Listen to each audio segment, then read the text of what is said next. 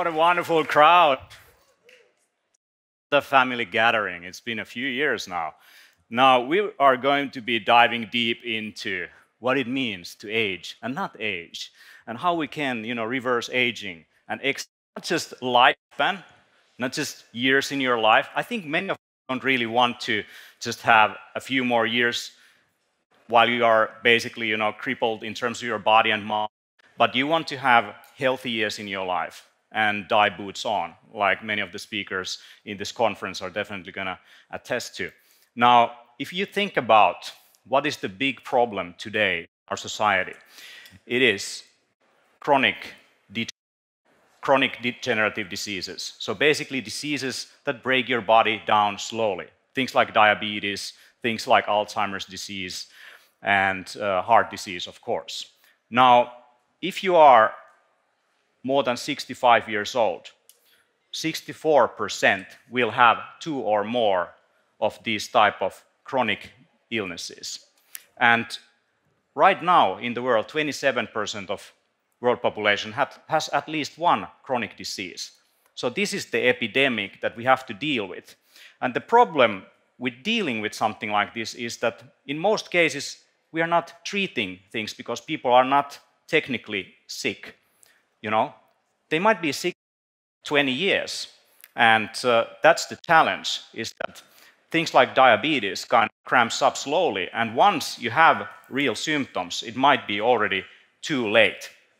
And for this reason, you know, we have to start looking at not just you know medical treatments that have been able to help us to double human lifespan, but also life like food choices that we have, exercise, supplements, all of that, and social network. But I believe with biohacking technology, we're able to push that envelope, maybe to 120, maybe 150, 180, who knows? We will see how this will evolve. Now, in this conference, we always invite artists to make art, uh, to push the boundaries of what it means to be human and how we see health and well being. And uh, that's why we bring people who have vision uh, and are able to transmit that and transcend what our experience is of ordinary reality of being human beings connected to everything else. And that's why we created an amazing visionary gallery and artists like Vesa Kivinen, Alvar Gulish, and Sakari Lehto, and David Flasberg will be painting in the middle of the uh, venue uh, some of their artworks or performing them. And we have also Pablo Amaringo, so artwork, one of the most famous visionary artists from the Amazon, who is already gone, but his artwork will be in the VIP lounge. It's accessible for VIPs and, and speakers and artists and so on, organizers.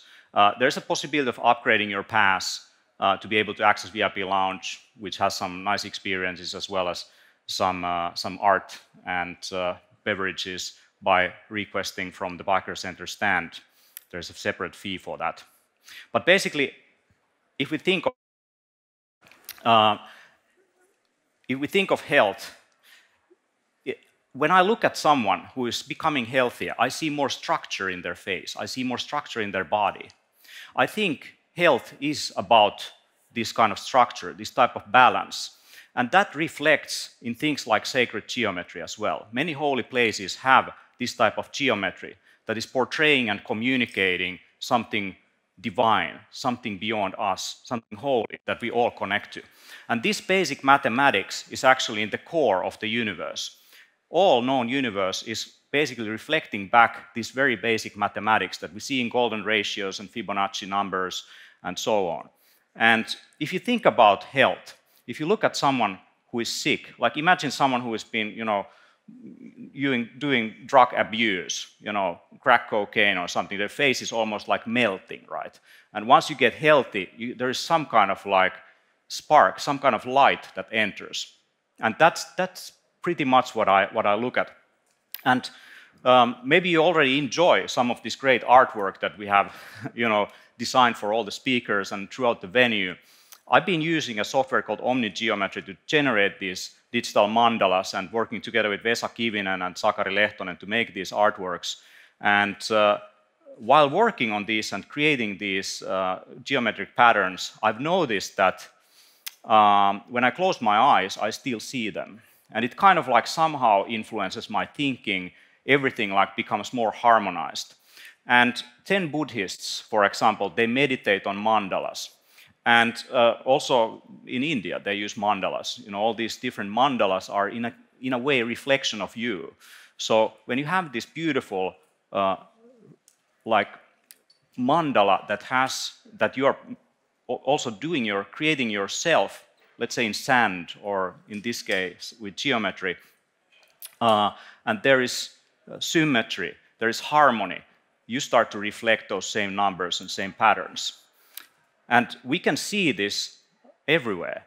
Uh, Johannes Kepler saw that there exists a very common geometry in the universe.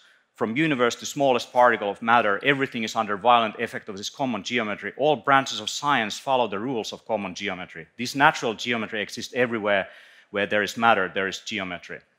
And we can see this everywhere in a single cell that divides and builds up into a more complex organism we can see it in the macrocosm, we can see it in the microcosm, we can see it everywhere. The proportion of your leg to the proportion of your hand, to the proportion of your finger, to the proportion of one, jo one joint in your finger is the same as a tree, branch, a tree trunk to the branch, to the smaller branches, to the leaves. And if imagine seeing something like lung tissue. You're looking at lung tissue. It's a beautiful tree, it's a beautiful fractal. And what happens when you get disease like cancer? There is a break of pattern, there is some kind of like malformation of structure. And I believe this is like what health really comes back to is this homeostasis, this regulation, self-regulating aspect of biological processes that reflect back this fractal nature of the whole known universe reflects back the whole fractal nature of all evolution, starting from you know, the single bacterial organisms up to you know, today uh, of, of us on the top of the food chain. But we are still concentrating all of that you know, um, biological um, diversity. We are like uh, Paul Stamets says, we are 60% mushrooms. You know, um, uh, the eukaryotes, for example, they live in your gut. Uh, the mitochondria in, in a single cell is an ancient bacteria that migrated in the center of the cell. We are basically a holobiont, a combination of this evolutionary process, kind of a superorganism sitting top of organisms. And in the end, like when we talk about ecosystems, we think about you know balance, we think about equilibrium, where all different forces are kind of having compensatory mechanisms to maintain this structure, to maintain this homeostasis. And I think that is a reflection of what good health is all about. And it's all about understanding that we are not separate from nature. We are part of nature. We are a reflection of the nature. We are not, you know, we don't evolve in isolation. When you think about something like biohacking, you know, you optimize yourself. My question to you is for what reason? For what reason are you optimizing yourself? What are you trying to become? Are you trying to contribute to the world? Are you trying to maintain things better than you found them? So I think one of the principles that we have to adopt is that we leave things better than we found them. Our bodies, our environments, our friends, families, community, anything. As, as man made as we come into it, we have to maintain and with responsibility this balance you are a system of systems. You are part of systems um, on multiple different levels. You're a cybernetic organism. We are not that far from something like AI in a sense, the way how we learn from the environment, we evolve through feedback loops, how we learn from our experiences. If you look at even human brain patterns, this is an article released in Nature magazine. The human brain networks function in these harmonic patterns and waves. And you can probably already see like there, these aspects. It's a freaking multidimensional uh, computer in a sense, but don't get me mistaken in a sense, or, or don't misunderstand me. We are not computers, but we create technology, and the technology is a reflection of us. It's kind of, in a, in a way, it's the next evolutionary step. We create our tools, and then our tools create us. And many you know, tools that we use today, anything from pen and paper and mathematics and science is an extension of us.